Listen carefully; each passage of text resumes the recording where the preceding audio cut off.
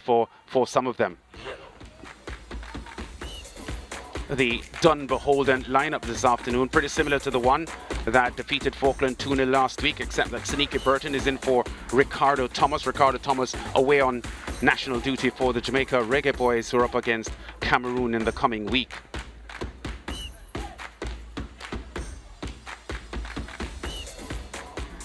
So they'll play with Thomas at the spearhead of the attack, Benbow and Barnett supporting him from the wings. Christian, the man in the middle, uh, the rondo master, McCarthy and Powell will hold, although Powell will push on and McCarthy will be playing closer uh, to the two central defenders, McPherson and Watkin. Yeah, there's your Harbourview lineup getting ready for this battle here. And uh, the Harbourview lineup has three changes to the one that defeated Chapelton Maroons in their opening game. Kissim Priestley, Trey Martin and Demar Rose coming in for Colorado Murray, O'Shane Staple and uh, Jamon Shepherd who had started in that opening game. And uh, Demar Rose, former Portmore player, in his first season here at Harbourview, who he had played a lot of youth football with uh, anyhow, so he's accustomed to the Harbour View outfit. Yeah, surprising to see Tamar Lewis at centre forward. He's played everywhere in attack for Harbour View over time except central midfield. Well, central midfield is holding, so yeah, everywhere in attack. And today he leads the line with Nicholas Hamilton Robinson supporting him from the wings. Demar Rose, uh, the creator in chief, and then Priestley and Anglin to ensure that the defence doesn't come under too much pressure. Nicholas Hamilton things got off to a fairly bright start here for Harbourview as Lewis snatches onto this one and drives the left-footed strike past Damien Hyatt to give Harbourview the advantage. Good acceleration there from Timar Lewis and he scores his first goal in almost three years in the Premier League and uh, gets Harbourview in front by one goal to nil. Gets the congratulations from his teams, teammates to Sean Anglin. Slides the ball across here to Hamilton, whose left-footed strike is over the top. But Harbourview very, very strong in the first half. And look at this free kick from Fabian McCarthy, placing his right-footed shot very accurately past Amal Knight, who had no chance, and uh, pulling a goal back here, Dunbeholden. Hamilton had an outstanding game. Apart from his two goals here, he's delivering this one here to Rose gets the ball back. Hamilton does. And just steers the ball very, very calmly and confidently past Damien Hyatt as Harbourview retook the lead there. Powell cross inside, headed just over the top as Dunbeholden tried to get themselves back into the game before the half-time break. Benbow twisting in and out here with the Bennett, his cross, firm and hard, but Amal Knight gets in the way. And Harbourview get the ball away. But just one of a few moments of excitement there from Benbow. He was largely ineffective today. Here comes Ronaldo Robinson here for Harbourview. Anglin goes for the strike, but it's over the top. Had a good game, Anglin.